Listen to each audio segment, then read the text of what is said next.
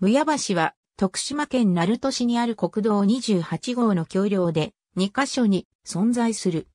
両者は異なる場所に位置し、直線距離にして約 2.6km 離れているが、双方ともに鳴門市内にあり、また国道28号が通る。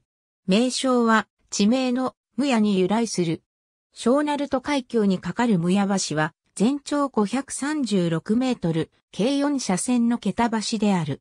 2本の橋梁で構成される。大毛島と四国を結ぶ。国道28号と水道管が通る。1987年5月に現在の上り線の橋梁が暫定2車線で開通し、1998年4月に現在の下り線の橋梁が開通した。平日の交通量は12,332台、日という。約50メートルの間隔を置いて、西側に吊り橋の小鳴門橋が並行しており、四半世紀の間における土木技術の進歩を見ることができる。付近には、ナルト協定場やポカリスエット等の巨大な広告が壁に描かれた大塚製薬の倉庫があり、東京領の上から見渡せる。また東京領の北詰には、ナルト第2トンネル、南詰には、無やバスストップがある。東京領と同じ高速道路にある海峡をまたぐ、他の橋梁としては、明石海峡大橋と大鳴門橋がある。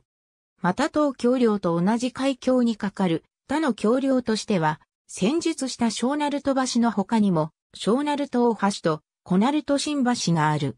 新池川に架かる宮橋は、全長74メートルに車線に歩道の平面橋である。